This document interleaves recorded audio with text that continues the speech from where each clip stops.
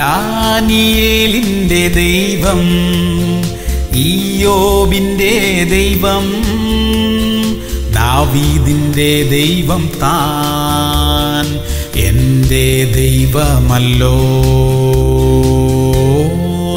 ഇയോബ് നാൽപ്പത്തിരണ്ട് പന്ത്രണ്ട്. യഹോവ ഇയോബിന്റെ പിൻകാലത്തെ അവന്റെ മുൻകാലത്തെക്കാൾ അധികം അനുഗ്രഹിച്ചു. പ്രിയമുള്ളവരെ ഇയോബിനെ ദൈവം അനുഗ്രഹിച്ചു. രണ്ടു പ്രാവശ്യം ഇയോബിനെ കുറ്റം പറയാനായിട്ട് പിശാജ് മുന്നോട്ട് വന്നു. എന്നാൽ മൂന്നാമതൊന്ന് മുന്നോട്ട് വന്ന് കുറ്റം പറയാൻ കഴിയാതെ വണ്ണം പിശാജ് തലകുനിച്ചു പോകുമാറുള്ള ഒരു ജീവിത ശൈലി ഇയോബ് അങ്ങോട്ട് മുന്നോട്ട് വെച്ചു. അപ്പൊ പിന്നെ ഇയോബ് അനുഗ്രഹിക്കപ്പെടാതിരിക്കുമോ? ഈ നഷ്ടങ്ങളൊക്കെ സംഭവിച്ചത് പാപം ചെയ്തത് കൊണ്ടാണെന്ന് കുറ്റം പറയാൻ വന്നവരുടെ മുന്നിൽ ദൈവം അങ്ങോട്ട് മാനിച്ചു നിർത്തിയില്ലേ? ഒരല്പകാല ദുഃഖമുണ്ടായെങ്കിൽ എന്താ? ദീർഘകാല സന്തോഷത്തിന് അതൊരു വഴിയൊരുക്കിയില്ലേ? പരിശോധനകൾക്ക് അപ്പുറത്ത് ഇരട്ടിയായ അനുഗ്രഹമുണ്ട് കേട്ടോ. പ്രാർത്ഥിക്കാം. യോവിനെ അനുഗ്രഹിച്ച ദൈവമേ കർത്താവെ ഞങ്ങളുടെ സഹോദരങ്ങൾ പലരും ഒറ്റയ്ക്കാണ്. ഏകരായി അവരുടെ വേദനകളെ സഹിക്കുന്നു. കണ്ണുനീരിന്റെ താഴ്വരയിലൂടെ നടന്നു പോകുന്നവരുണ്ട് അവിടുത്തെ ആശ്വാസവും സമാധാനവും പകരണമേ. യേശു ക്രിസ്തുവിന്റെ നാമത്തിൽ തന്നെ. ആമേൻ ആമേൻ ആമേൻ.